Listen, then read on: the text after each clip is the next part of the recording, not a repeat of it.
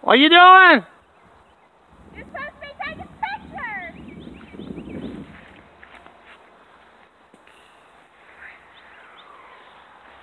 Jack?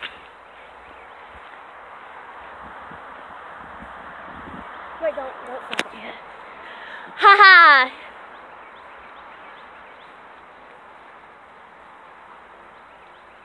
This is Palm Sunday 2020. We are still on the academic or epidemic, whatever you call it. This is our land we just bought. We are looking forward to life. We're going to build our house right here, Lord willing. Raise our kids here.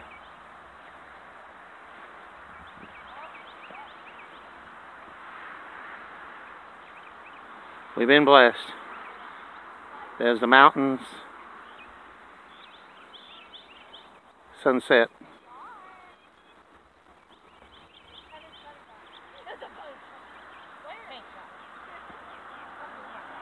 Until next time, love y'all.